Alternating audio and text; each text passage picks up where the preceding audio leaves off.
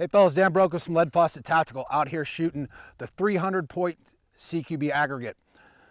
From the 20, from the depressed muzzle, pro timer goes off. Bottom bullseye, we got three bullseyes for this. Bottom bullseye, 10 rounds, par time is six seconds. You gotta break six seconds, or be under six seconds, else it's a zero. Then we're gonna move up to the 10 meter. You're gonna have 10 in your carbine, 10 in your pistol. Pro timer goes off, 10 at your top left bullseye, transition, 10 at your top right bullseye.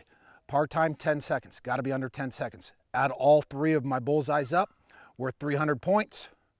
We're looking for 290 and above for expert. Let's see what we got.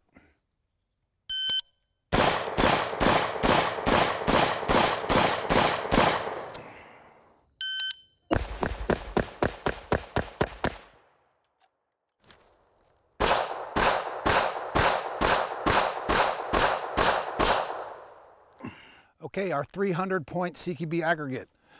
290 is what we're looking for. Score this up. I'm down one, two, three at 20. Clean at 10 with the carbine. Down one, two with the pistol. Remember, 10 second par time, six second par time. 295, we're looking for 290 and above for expert, difficult drill. Keep running it.